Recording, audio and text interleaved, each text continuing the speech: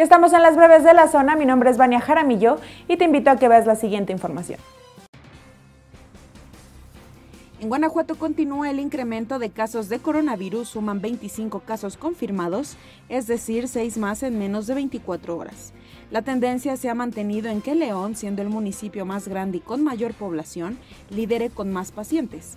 Este jueves reporta ya 18 casos confirmados. El caso en investigación en Silao se confirmó, pero además se sumó otro paciente en San Luis de la Paz. Sin embargo, los casos en investigación tuvieron una baja. Ayer se reportaron 94 personas sospechosas y hoy son 77. Hasta ahora hay 243 casos descartados en el estado que se mantienen en fase 2 pero sin transmisión comunitaria. La armadora Toyota ubicada en Apaseo el Grande seguirá cerrada durante 14 días más por la contingencia sanitaria del coronavirus y por la baja en la demanda de los vehículos. La empresa informó que reanudará operaciones hasta el 17 de abril, según un comunicado.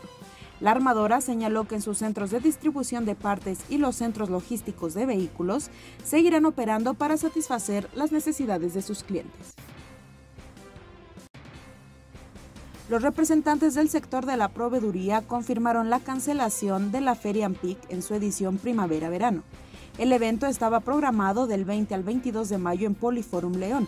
Será la primera vez en 40 años que se suspenda. Así lo informó la Asociación de Empresas Proveedoras Industriales de México, APIMEX señalaron comenzar estrategias e iniciativas para fomentar el sostenimiento de la actividad económica en cada uno de sus proveedores. Reiteraron también el compromiso de estar en la edición de octubre.